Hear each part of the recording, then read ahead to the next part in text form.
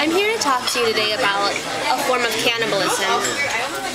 I just ordered this side of strawberries and I just opened this container of strawberry jam. What I decided would be really tasty is if I dipped a strawberry into the strawberry jam. Then I get so disgusted because I think about how it's cannibalistic.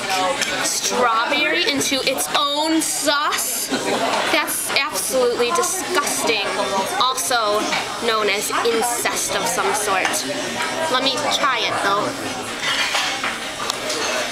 Definitely cannibalism in its purest form.